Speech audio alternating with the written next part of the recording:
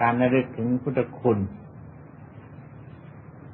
เป็นการระลึกถึง ผู้ที่ท่านวิเศษสูงสุด คือพระพุทธเจ้า ผู้ที่ตั้งศาสนา เราระลึกถึงพระคุณของพระองค์ ก็เป็นนั้นว่าระลึกถึงคุณพระธรรมพระสงฆ์ไปพร้อมกันพระพระพุทธเจ้าพระธรรมพระสงฆ์ เกี่ยวเนื่อง เป็นอันหนึ่งอันเดียวกัน นี่แหละเรื่องเป็นของละเอียด เราพากันเข้าใจพระพุทธอันหนึ่งพระธรรมอันหนึ่งพระสงฆ์อันหนึ่ง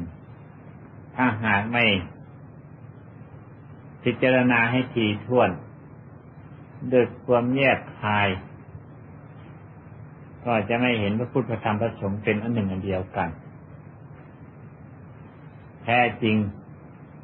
พระพุทธธรรมพระสงฆ์แล้วก็พากันกล่าวกันอยู่ทุกวัน คือไว้พระสมุนเช้าเย็น ไม่น่าจะเอามาพูดหรือมาแสดงอีกต่อไป แต่ความเป็นจริงนั่น หาได้เป็นเช่นนั้นไม่ ที่จะต้องมาบรรยายอยู่ตลอดเวลา ก็ด้วยเหตุที่ว่า เรากล่าวได้เพียงเปล่งวาจาออกมา แต่ไม่ได้เข้าถึงจิตใจ ไม่เข้าถึงคุณพระรัตนตรัยอย่างแท้จริง ที่ท่านให้ระลึกถึงคุณพระรัตนตรัยคือพุทธธรรมประสงค์นี้นั่น มันเป็นอนุสติ เป็น ธรรมฐาน อันหนึ่งซึ่งจะทำให้จิตใจของเราสงบอบรมจิตใจเราเป็นสมาธิ และงับเจะสิ้นความหม่นหมอง คือกองกิเลสต่างๆ ให้สงบระงับไปได้ ไม่ใช่เป็นของต่ำตื้นและไม่มีประโยชน์อะไรเลย ที่เราเห็นเป็นของต่ำตื้นและไม่มีประโยชน์ เพราะปัญญาของเราไม่ถึงคุณของท่าน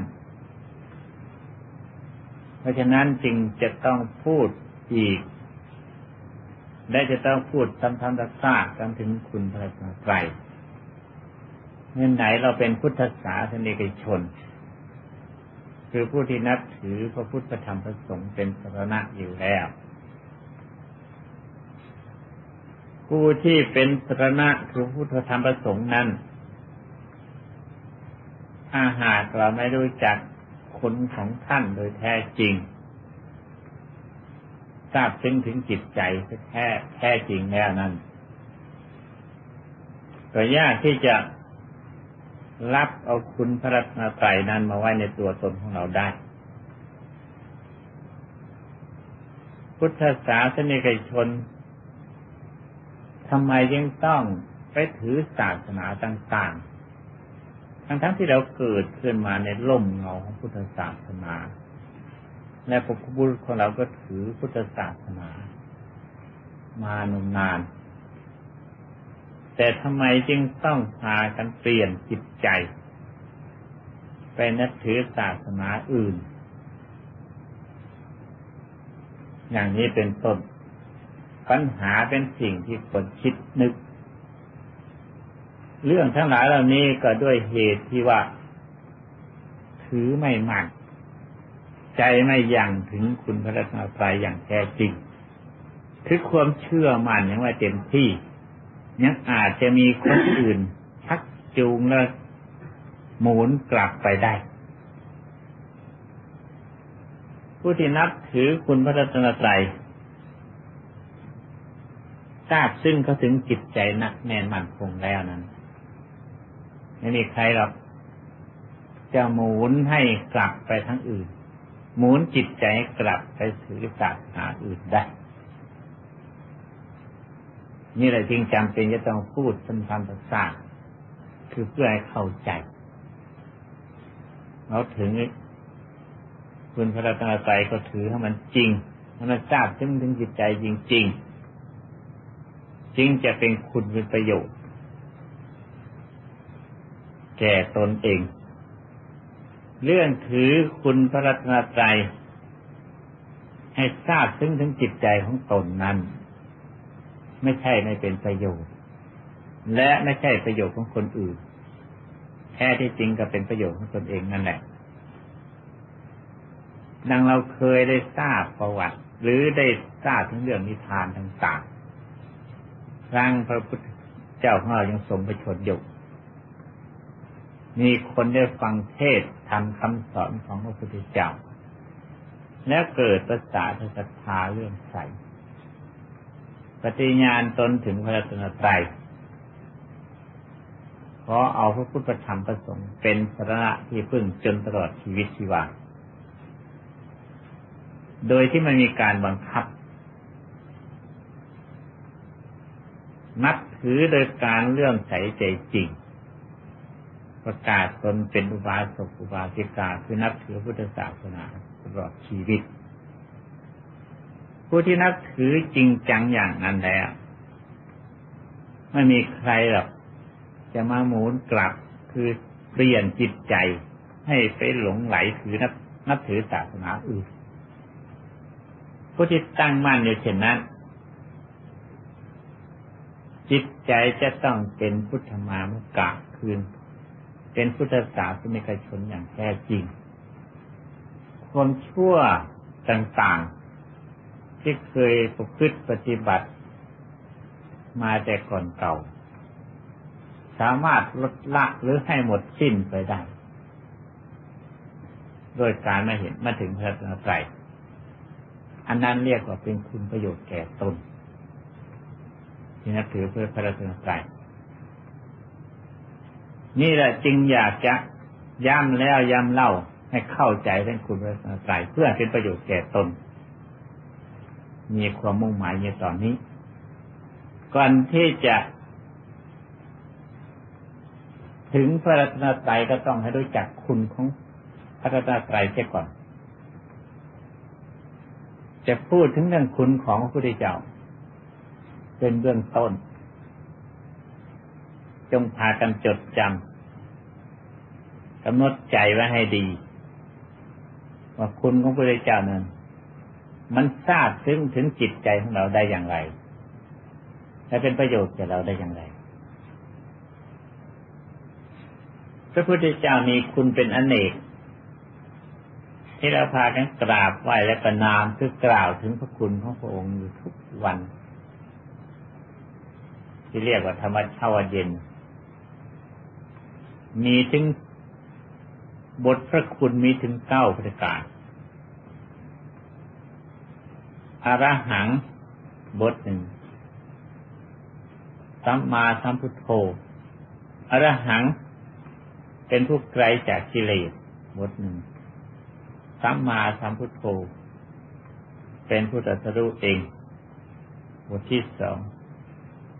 วิชาจารณะสัมปันโน เป็นบทเป็นผู้มีวิชา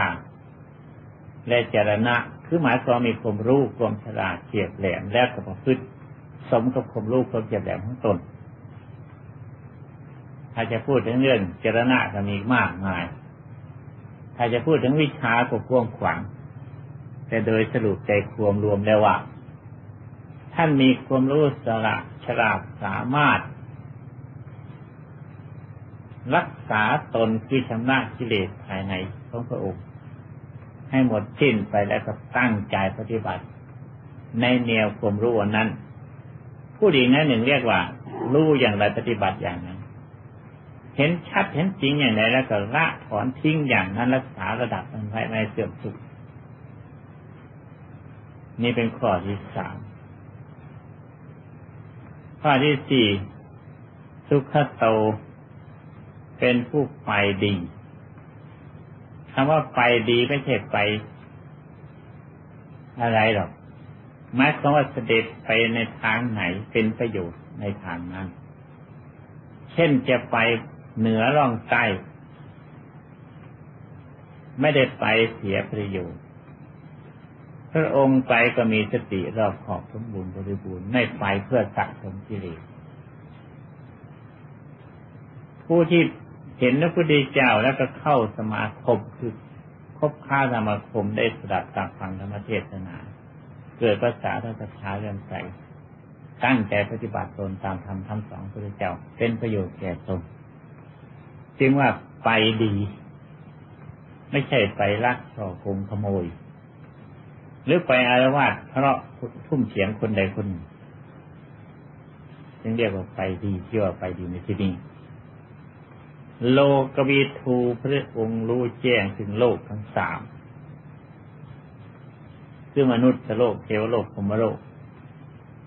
คำว่ารู้แจ้งในที่นี้คือว่าพระองค์ไปเห็นชัดเห็นจริงมื่อทุกสิ่งทุกอย่าง โลกทั้งสามนี้ ไม่ได้ติดข้องโผพัน เห็นชัดตามเป็นจริง ไม่ใช่เห็นแล้วจะติดความรู้ของพระองค์พระองค์ไปเห็นนั่นรู้แจ้งโลกนั่นไม่ใช่รู้แจ้งแล้วไปติด เหมือนกับสมัยทุกวันนี้เขาตำรวจดูโลก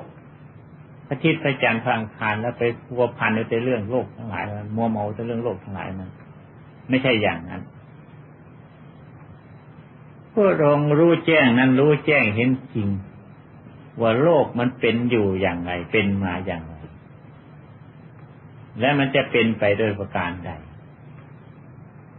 เห็นชัดแล้วถอนไม่ได้เข้าไปพัวพันในเรื่อง โลกทั้งสามนั้น จึงเรียกว่าโลกวีทูมีคำพีอีกอย่างหนึ่งที่โบราณท่านเคยพูดกันอยู่เสมอว่าพระพุทธเจ้าเรียบโลกคือว่าไปเที่ยวเรียบเลาะมด โลกทั้งสามตลอดหมด แท้จริงไม่ใช่อย่างนั้นอายุของพระองค์ก็ไม่ยืนนานเลยนะแต่ตรัสรู้มาแล้วก็ได้สี่สิบห้าปี ที่ไหนจะไปเที่ยวเลาะโลก เรียกโลกกันจนตลอดรอดฟังไม่มีหรอกคือเอาความรู้นี่แหละ ไปรู้รอบมดทุกสิ่งทุกอย่าง เข้าใจมาทุกสิ่งทุกประการในซึ่งในโลกทั้งสามเรียกว่าไปเที่ยวเรียบรอบเลาะโลก นี่เวลโลก็จึงเรียกว่าโลกวิทูอนุตตรโรบุริสาธรรมสาลัทธิสถาเทมุสนาพุทโธลัทธิสถาเทมุสนัง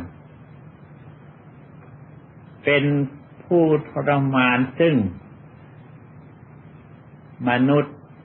ทั้งหลายทั้งทุกชั้นทุกภูมิ คนต่ำต้อยก็ทรมานได้ด้วยธรรมะ คนท่ามกลางและคนมีวิชาความรู้สูงสุดพงหาวิธีประมาณอย่างนิ่มนวลไม่ได้ใช้อาจยาบังคับ แต่ชักชวนด้วยธรรมะแสดงเหตุผล ให้เห็นด้วยตนเองจนยอมสละความชั่วของตน เข้ามาปฏิบัติตามธรรมคำสอนพระเจ้า เป็นคนดีขึ้นมา นี่ปุริสาธรรมสารถีสัทธาปุริสาธรรมสารถีสัทธาเป็นครูเป็นอาจารย์ ของมนุษย์ตลอดทั้งเทพพระบุตรเทวดาอินพรหมพระองค์ก็ตั้งสอนได้ทั่วตลอดหมด พุทโธจึงเป็นผู้เบิกบาน เป็นผู้มีความพัฒนเบิกบานไม่เศร้าหมองมันพูดกันตามภาษาว่าแล้วบ้านเราเขาเรียกว่าจิตใจผ่องใสยิ้มแย้มแจ่มใสอยู่ตลอดการเวลา เพราะกิเลสสันดานของพระองค์ไม่มี มองทุกสิ่งทุกอย่าง เป็นของทะลุรูปโป่งหมดและไม่ติดไม่พัวพัน อันนี้จริงเรียกว่า พุทโธผู้ปลุกบานพระควาเป็นผู้แจก คือว่าแจกทำคำสอนของพระองค์ที่ได้ตรัสรู้นั้นไม่ได้หงแหนเจเหล่ามนุษย์เทวบุตรเทวดาอินพรหมให้ทั่วถึงกันหมดเท่าที่สามารถผู้รับจะรับได้ เหมือนกับพวกเรา พระพุทธเจ้าท่านแจกมาถึง พระองค์ไม่มีพระชนชีพอยู่ก็ตาม แต่ธรรมะยังแจกมาถึงพวกเรา ได้คนละนิดได้หน่อยพากันมารับมาปฏิบัติประพฤติปฏิบัติทำตามจนได้ความเบิกบานหันษามีจิตศรัทธาตั้งมั่นในพระพุทธศาสนาไม่ถอยหลัง เรียกว่าเราได้ส่วน คือได้ส่วนแบ่งส่วนแจกจากพระองค์ให้นั่นเอง ถึงพระองค์ไม่ได้ให้ประทานด้วย พระองค์เองแต่มีคนนำสืบมาคือพระสาวก และครูบาอาจารย์นี่เรียกว่าพุทโธไอ้เรียกว่าพระควาเป็นผู้แจกจ่ายลองคิดดูสิพระคุณของพระเจ้าของเราที่อธิบายมาเนี่ย มีในตัวของเราไหมมีติดมีพันมี อยู่ในตัวของเราบ้างเล็กๆน้อยๆมีไหมอรหังสมาอรหัง เป็นผู้ไกลจากกิเลสคำว่าไกลจากกิเลสนี่นะของเรามาไกลได้พอปานใดที่มีอยู่ในตัวของเราเราไกลหรือใกล้เราเป็นผู้เป็นตัวกิเลสทั้งหมด หรือว่าเราห่างไกลจากกิเลสมาขนาดไหนแล้ว เรารู้ได้ในตัวของเราคำว่ากิเลสในที่นี้นะ ใครก็พูดได้ทุกคนในตัวกิเลสที่แท้จริงนั่นมันเป็นยังไงและพระองค์ไกลนั้นไกลได้อย่างไรพอให้คิดดูตรงนี้ กิเลสมันเป็นอย่างนี้ เป็นภาษาแขกไม่ใช่ภาษาบ้านเรา กิเลสคือความเศร้าหมอง กิเลสคือเครื่องดองในสันดาน นั้นมักหมมอยู่ในสันดานคำว่าเศร้าหมอนั้นมันเราเห็นได้ยากเราถือความเศร้าหมองเป็นการผ่องเป็นความผ่องใสเราเห็นเครื่องดองที่มักหมมนั่นเป็นของอร่อยคำว่าเครื่องดองของมักหมมนี้นั่นโดยความจริงแล้วเรียกว่าเป็นทิพย์แต่เราเข้าใจเป็นของอร่อยอร่อย นี่มันเข้าใจคิดเป็นกลุ่มนี้จริงยากที่จะเห็นตัวกิเลสเอาพูดเป็นตัวข่าวนี้ความโลภเกิดขึ้นในใจทำให้ทะเยอทะยานดิ้นรนอยากได้ อยากดีอยากมีอยากเป็น ได้แล้วก็ไม่พอ ไม่อิ่มไม่เต็ม มีน้อยก็อยากได้มาก มีมากก็ยังอยากได้ให้มากมากยิ่งขึ้นไป ให้ผลที่สุดมันมีอิ่มมีพองมีเต็มความอยากทำให้ใจเศร้าหมองคือจิตใจไม่พองใสมีความอยากมันหุ่มห่อให้มืดตื้อไม่มองเห็นพระรัตนตรัยก็เพราะความอยากนี่แหละไม่มองเห็นคุณพระเจ้าก็เพราะความอยากนี่แหละนั้นปกปิดหุ่มห่อไว้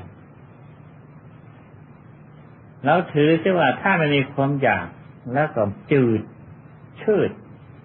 จิตใจของคนเรานะไม่มีความอยากแล้วจืดชืดเลยนี่จึงว่า เห็นกิเลสเครื่องสมองเป็นของผ่องใส ถ้าหากเราทะเยอทะยานดิ้นดิ้นล้นอยากได้นนอยากได้นี่ค้นขวายแล้วหายแล้วมันเบิกบานจิตใจผ่องใสอาการทะเยอทะยาน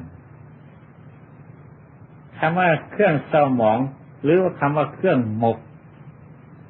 เครื่องดอง อันมันอยู่ในใจนั่น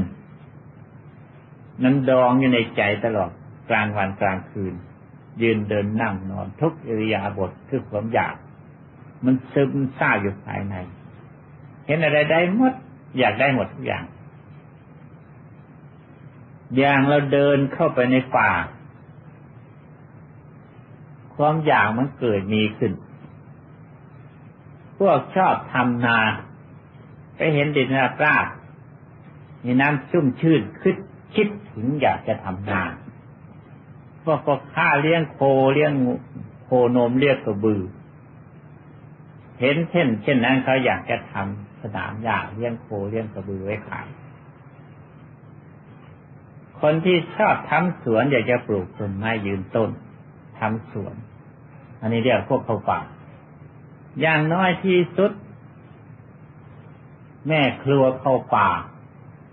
เห็นยอดไม้อ่อนๆคิดถึงผัก อยากจะได้เก็บเอาผัก มาจิ้มน้ำพริก เห็นหน่อไม้ยอดผัก คิดถึงจะเอามาแกงมาต้ม บางคนบางที เห็นแล้วก็น้ำลายพรู่ออกมา มันอยาก อันนี้เรียกว่าความอยาก มันเกิดมันมีขึ้นในใจ ไม่มีความสงบ ไม่มีภาวนาสมาธิเลย การเป็นอย่างนั้นเพลินสนุก เข้าป่าเลยลืมมืดลืมค่ำนี่เราเรียกว่ากิเลส มันหมกมักหมมอยู่ในสันดานนี่ว่าความโลภ ว่าเฉพาะความโกรธขานี่เขาว่าให้เจ็บช้ำน้ำใจ ใครไม่โกรธก็หาว่าคนโง่ ถ้าโกรธต่อแล้วไหนดูว่าท่าแสดงท่าทีปริกิยาถึงขังเห็นว่าคนจะเอาชนะคนอื่นจนได้ คนนั้นคนมีจิตมีใจ ถ้าหากใครไม่โกรธถือว่าเป็นคนไม่ดี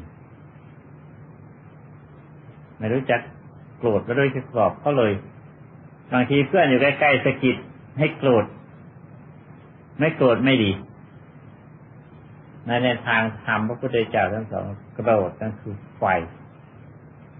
มันไหม้ขึ้นมาในหัวใจตัวพ่อมาเปรียบเหมือนกันกับไฟป่าเหมือนกับไฟ ไม่จังอื่นไกลละไฟนั่นน่ะ เมันก็หัวไม่ขีดไฟละไป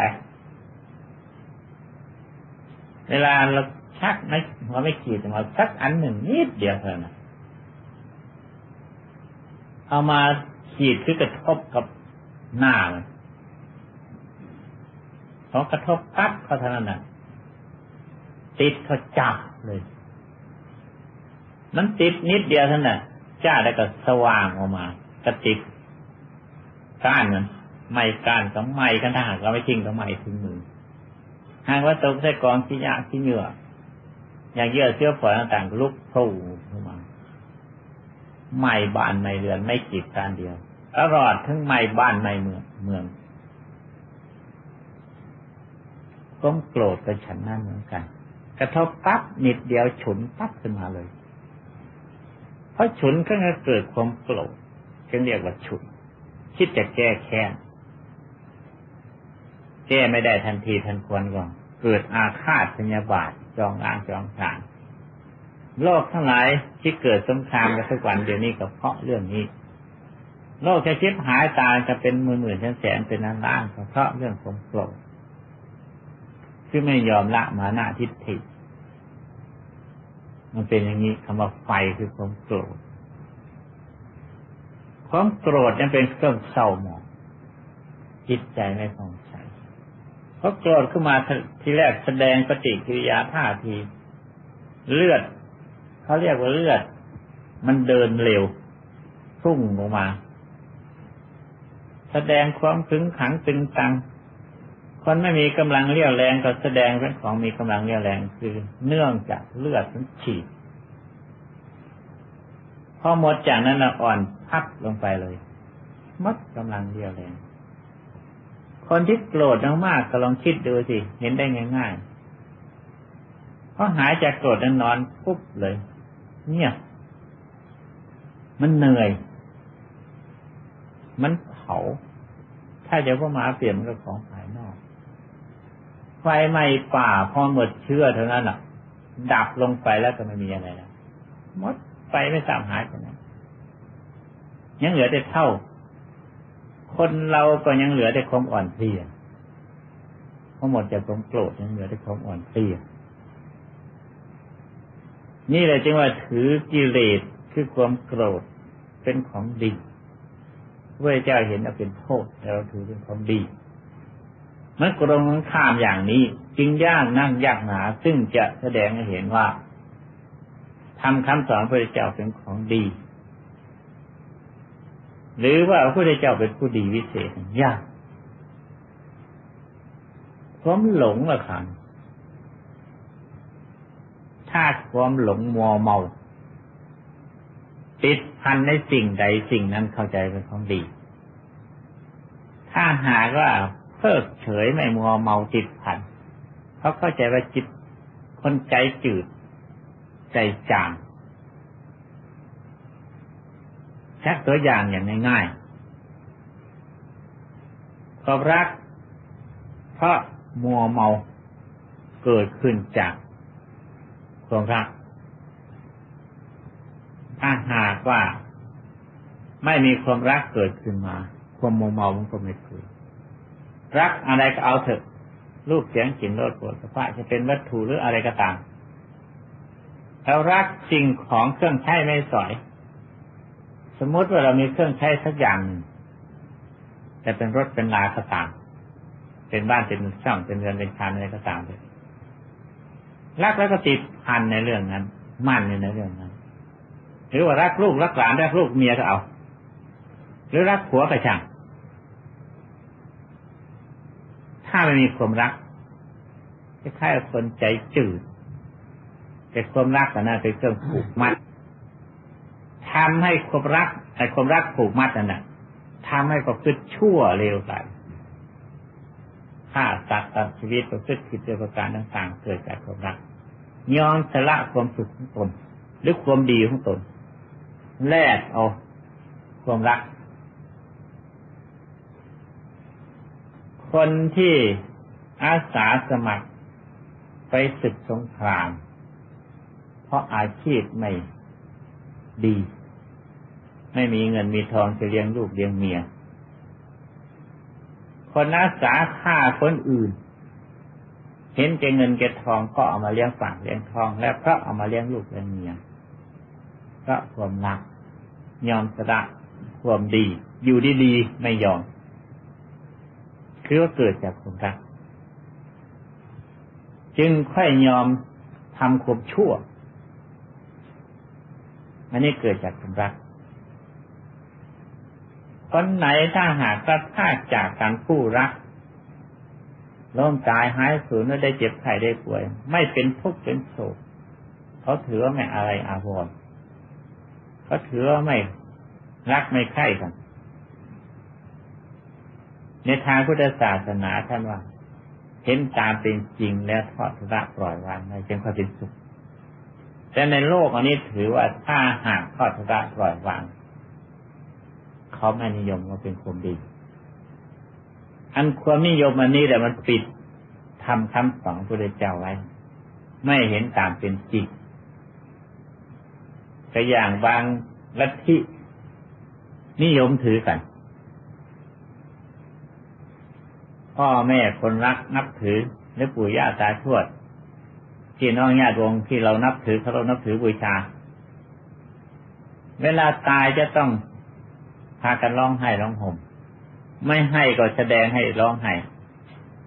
แต่อย่างพวกจีนจีนเนี่ยธรรมเนียมของเขา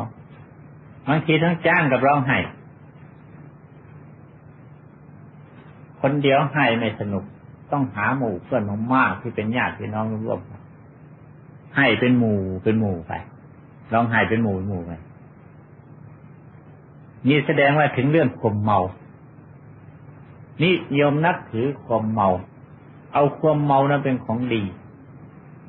หรือไม่ฉะนั้นจะพูดกันง่าย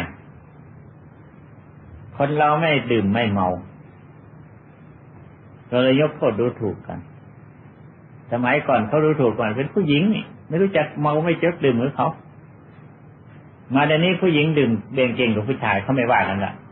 คนไม่ดื่มเขาไม่ว่าผู้หญิงเสร็จแล้วก็ผู้หญิงดื่มมากกว่าผู้ชายก็มีแยะ อันนี้แสดงว่านิยมข่มเมา นับถือข่มเมาเป็นเครื่องบูชา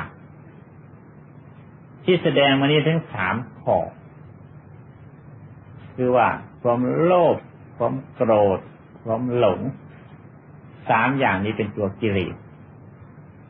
นิยมนับถือกิเลสเราเป็นของดี แต่พระเจ้าสละเรื่องทั้งหลายเหล่านี้ได้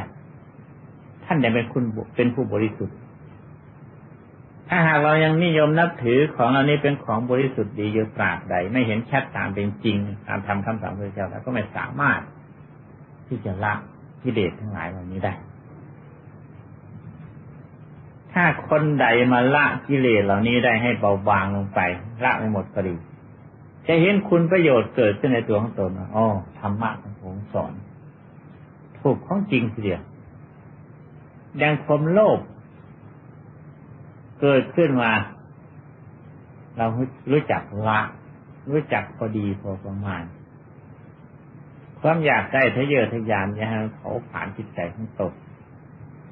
อย่าให้ปกปิดจิตใจของตน ถึงเรียกว่าละไม่หมด ก็ยังเหลือไว้ แต่เท่าที่เราละได้เราไม่ทะเยอทะยานที่เราเป็นของเกินขอบเขตจะเห็นความสุขเกิดมีขึ้นในตนตนหากว่าพระพุทธเจ้าของเราท่านละได้จริง ท่านเป็นผู้บริสุทธิ์หมดเลยในสมัยข้างพุทธกาลเขาก็เคยยกโทษพระเจ้าเหมือนกันพระพุทธเจ้าเป็นคนด้าน จิตใจด้านคือไม่รู้จักอยากได้ เรียกว่าคนด้าน ไม่ใช่ในสมัยนี้ยกโทษพระพุทธเจ้าไม่รู้จักรักจักโกรธเรียกว่าคนด้าน คนรักคนโกรธ ดังอธิบายมานั้นเป็นเหตุให้ใจเศร้าหมอง เป็นเหตุให้เดือดร้อน ถ้าหมดละ หมดรัก หมดโกรธหมดโลภหมดหลงปรงอนิจจังทุกขังหน้าตาเห็นสภาวะตามเป็นจริง จิตใจได้ค่อยผ่องใสเบิกบานหายได้จากความทุกข์เดือดร้อนด้วยประการต่างๆ อันนี้ถ้าหากว่าเรามาละความโกรธ เอาสมมติว่าเรามาอยู่วัดอย่างเงี้ยวันเนี้ยไม่มีเรื่องอะไรจะกระทบกระเทือน ไม่มีใครจะมาต่อว่าต่อร้อต่อเสียงไม่มาเหยียดหยามดูถูกทำให้เจ็บทั้งน้ำใจ ตลอดวันค่ำตลอดคืนรุ่งเรามาสาวโบสถนี่เราจะไม่มีความโกรธเดือดร้อนอะไรวุ่นวายขึ้นมาเลยจะอิ่มด้วยด้วยปีติในการที่เรามีคุณงามความดีเป็นเครื่องอยู่คือสินห้าสินแปด มีความโกรธนั้นมีขึ้นนี่เราก็จะเห็นคุณแล้ว หากว่าเรากลับจากวัดนี้เข้าไปบ้าง หรือว่าอยู่ในวัดในกระช่างมีคนใดมาพูดกระทบกระเทือนให้เดือดร้อนให้เราเกิดเกิดความโกรธขึ้นมาเราจะเห็นโทษทันทีความโกรธเป็นของเป็นของทุกข์ทำให้เดือดร้อนไม่ได้ความสงบสุขสบายอันนี้ตัวอย่าง จะเห็นได้ง่ายว่าความโกรธของเรา หายไปเราจะได้รับความสุข เมื่อเราเห็นชัดอย่างนี้เราจะมองเข้าไป ลึกซึ้งเข้าไปถึงคุณพระพุทธเจ้าท่านมีโกรธเอาจริงจริงจังอะใครจะกระทบก็ไม่มีโกรธเฉเลย จะเยือกเย็นทั้งขนาดไหน จิตใจของพระองค์ที่จะละความโกรธได้เช่นนั้น ไม่ใช่ของง่ายๆจะต้องประกอบด้วยปัญญา มีวิชารอบรู้คือเห็นสัจจะตามเป็นจริง เช่นว่าเขาโกรธเป็นเรื่องกิเลสของเขา เรามีดีๆอยู่เราไม่โกรธเราไม่มีโทษมีภัยเขาโกรธจะเป็นเรื่องของเขา มันเป็นเรื่องของเขาเขาโกรธไม่ใช่เรื่องของเราเพราะว่าเราไม่ดีเราดีอยู่ต่อพระพุทธองค์มีปัญญาฉลาดเฉียบแหลมรักษาตนได้ ไม่มีความชั่ว เขาโกรธก็เป็นเรื่องของเขาเรามาพิจารณาอย่างนี้จะมองเห็นปัญญาของพระองค์อย่างลึกซึ้งนะโอ้ปัญญาสามารถระงับดับความโกรธเสียได้ เห็นความบริสุทธิ์ของพระองค์ชัดเจนทีเดียว พระองค์บริสุทธิ์อย่างนี้เองจึงไม่โกรธ พระองค์มีปัญญาอย่างนี้เองจึงไม่โกรธ พระองค์มีปัญญาอย่างนี้เองความจริงของพระองค์มีความเห็นความจริงอย่างนี้เอง จึงสงสารคนที่โกรธ นี่สรุปรวมจากความเรียกว่า เราไปพิจารณาถึงพระปัญญาคุณของพระพุทธเจ้าแล้วเห็นความบริสุทธิ์คุณของพระองค์ แล้วจะเห็นพระเมตพระกรุณาคุณของพระพุทธเจ้าอยู่ในที่เดียวเลย อันนี้พระคุณโดยย่นย่อ เรียกว่าวิสุทธ์เพราะว่าปัญญาคุณและวิสุทธิคุณ และพระกรุณาคุณ พระคุณทั้งหลายแหละที่อธิบายมาถึงเก้ามีอรหังสมาธิพุทโธเป็นต้น จะมาสรุปรวมรวบรวมลงในสามพระคุณนี้ คือส่วนของพระองค์สอง ได้แก่ปัญญาฉลาดเฉียบแหลมสามารถ เห็นชัดตามเป็นจริงในเรื่องกิเลสทั้งหลายทั้งหมด แล้วจะกำจัดกิเลสน้อยใหญ่ที่มีอยู่ในขันธ์สันดานของผมให้หมดสิ้นไปนี่เรียกว่า ปัญญาคุณกับวิสุทธิคุณเป็นของส่วนของพระองค์ธรรมะเป็นธรรมดาคุณงามคนดีเป็นของธรรมดา เมื่อมีแล้วจะอดเกลือแผ่คนอื่นไม่ได้ อย่างเราทำบุญสุนทานแล้วเกิดศรัทธาเรื่องใสในพุทธศาสนา แล้วก็อดจะบอกคนอื่นไม่ได้ เรียกว่าเป็นของไม่มีห่วงแหนพระพุทธองค์ก็เช่นนั้นเหมือนกัน เมื่อมีความบริสุทธิ์ มีปัญญาฉลาดจนกระทั่งทำพระพุทธองค์ให้ทำพระสันดานพระองค์ให้บริสุทธิ์แล้ว พระองค์ก็ต้องมีกรุณาสงสารสัตว์ที่ยังตกอยู่ในห่วงของกองกิเลสบาปธรรมเป็นธรรมดาเรียกว่ากรุณาคุณ กรุณาคุณนี่เกี่ยวเนื่องถึงเรื่องคนอื่น จึงรวมควมเรียกว่า สามคุณสามพระคุณนั่นน่ะมารวมเป็นส่วนของของพระองค์สองสเบื้องต้น คือปัญญาคุณโดยสุติคุณ และก็ส่วนที่สามนั้นเป็นของเจือมาจานมาแก่พวกเรา คือกรุณาคุณถ้าคุณทั้งหลายเหล่านี้แหละถ้าหากเราไม่ตั้งใจกำหนดคิดพิจารณากันจริงๆจังจะไม่ทราบซึ้งถึงใจของเราเลย ถ้าหากผู้มาพิจารณากันจริง ๆจังแล้วกราบถึงพระพุทธเจ้าพระคุณพระพุทธเจ้าครั้งแรก จะเห็นพระปัญญาคุณและพระวิสุทธิคุณ แล้วก็จะไม่เห็นพระกรุณาคุณของพระองค์ เมื่อกราบครั้งที่สองอะถ้าทำครั้งสองพระองค์อะ ที่สอนให้เราละชั่วทำดี ด้วยพระกรุณาคุณทั้งหลาย จะมาปรากฏชัดในขณะที่เรากราบเห็นชัดจริงๆคือในขณะที่เรากราบจิตใจจะเกิดทราบซึ่งปราบพื้นปีติอินดีที่อกจินใจ ในขณะที่เรากราบถ้าทำจะมาปรากฏในที่นั้นเลย แล้วก็จะกราบขั้นที่สามจะระลึกถึงพระอริยสงสาวกที่ท่านดำรงความบริสุทธิ์หมดจด หรือที่ท่านนำศาสนามานั้น จะมีความบริสุทธิ์ในใจของท่าน อย่างพระพุทธเจ้าจึงค่อยมีพระกรุณาคุณคือว่านำศาสนามาเผยแพร่แก่พวกเรา และความบริสุทธิ์ของพระอริยสงสาวกทั้งหลายนั้นดำเนินตามรอยพระพุทธเจ้าถ้าทำนั่นแหละ เป็นหนทางให้พระอริยสงสาวก เป็นผู้บริสุทธิ์ได้ถ้าคุณคือว่าปัญญาคุณอย่างพระพุทธเจ้าก็มีในพระอริยสงฆ์ พระวิสุทธิคุณก็มีในพระอริยสงฆ์พระกรุณาคุณก็มีในพระอริยสงฆ์ตกลงว่าพระพุทธเจ้ากับพระสงฆ์คล้ายๆกัน อันนี้พระธรรมเป็นเครื่องนำให้บริสุทธิ์ มีอยู่ในพระสงฆ์มีอยู่ในพุทธองค์ธรรมะจึงได้เสื่อเป็นของสูง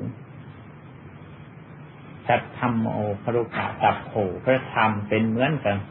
พระพุทธเจ้าก็เคารพพระธรรม คือพระธรรมเป็นเครื่องนำให้บริสุทธิ์ได้ พระธรรมที่พระพุทธองค์ได้ตรัสรู้แล้ว นั่นแหละนำมาสอนพวกเราเรียกว่าธรรมะเป็นนิยานิกระทำมีพูดบรรยายถึงคุณพระพุทธเจ้าก็เกี่ยวเนื่องถึงเรื่องกระทำและพระอริยสงฆ เป็นของดีมีค่าหากเรานึกน้อมอยู่ในใจพิจารณาเห็นชัดตามเป็นจริงในภายในใจของตนแล้ว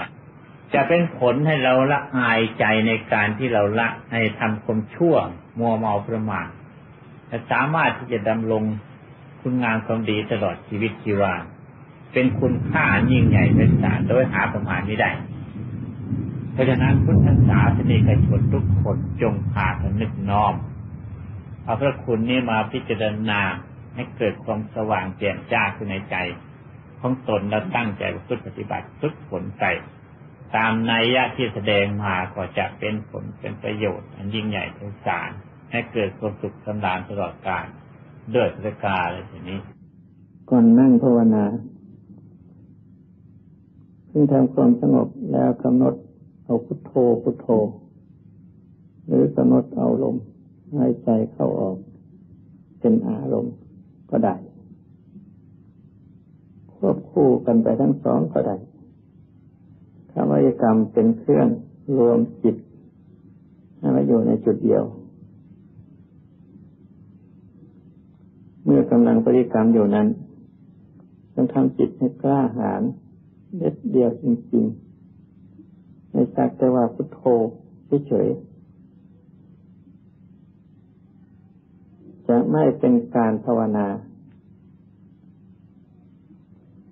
จิตจะส่งสายไปมา เดี๋ยวก็เปลี่ยน เดี๋ยวก็ขี้เกียจเบื่อหน่าย ในคำคำขานมันจะกลายเป็นภาวันเดชิตเมื่อตั้งจิตเด็ดเดี่ยวคราหานลงไปแล้ว คือหมายความว่า ตั้งต่อพุทโธจริงๆ อารมณ์ทั้งหลายก็จะไม่มารบกวนแม้จิตก็จะแน่วแน่เป็นอารมณ์เดียวคือมีพุทโธเป็นจุดอันหนึ่ง นั่นแหละจึงจะถึงจุดเบื้องต้นของการภาวนาสมาธิ ตั้งสติกำหนดอย่างนั้น ไปให้มั่นคงแง่จิต อยากเห็นโน่นเห็นนี้ หรืออยากให้เห็นเทวบุตรเทวดาอินพรมหรือเห็นอะไรต่างๆก็ตามเถอะเดียวสมาธินั้นจะเสื่อมเวลามันจะ เป็นสมาธิเต็มที่ มันเป็นเองของมันตั้งห้าใครจะแต่งเอาไม่ได้ การแต่งเอาไม่เป็นสมาธิ สมาธินี้ถ้าแต่งเอาเอาได้ คนทั้งโลกก็จะเป็นเหมือนกันหมด เป็นสมาธิเหมือนกันหมด จะเป็นของอัศจรรย์อะไร ของเกิดเองเป็นเองนี่ เป็นของหายากเบื้องต้นขอให้ตั้งใจ รักษาสติอย่างเดียวเวลามันจะเป็นสมาธิคือมันตัวมันเป็น เอกตาจิตเอกตารมมันหักเป็นเอง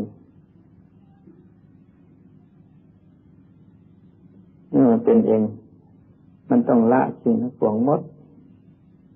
ไม่มีเหลือในที่นั้น มันเหลือแต่จิตอันเดียวมันยังคนหลงเป็นอันเดียว นี่แหละวิธีหัดสมาธิต้องตั้งใจกันทำกัน นั่งภาวนากันเถอะคือการทำความสงบ แต่เราตั้งแต่ไหนแต่ไรมา ไม่เคยสงบสักทีทำความสงบ ให้อยู่ในอารมณ์อันเดียว ธรรมะท่านแสดงไว้กว้างขวาง